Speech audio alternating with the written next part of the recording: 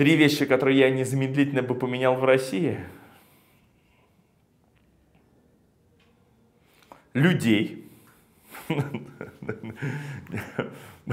Потому что, в общем, страна это и есть ее люди. Если мы так плохо живем, значит проблема не, не во власти, которая все равно, она плоть от крови от нас.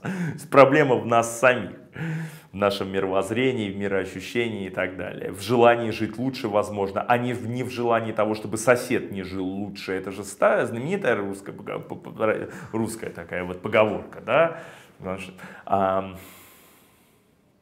а в остальном мне, в общем-то, все нравится. Вы знаете, я счастлив, что я живу в этой стране, и как бы не хотелось иногда уехать, а, все равно живем, живем здесь, и слава богу.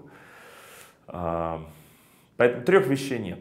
Я думаю, что это люди или, так сказать, человеческое мироощущение. Но, к сожалению, это легко сказать, просто сложно сделать.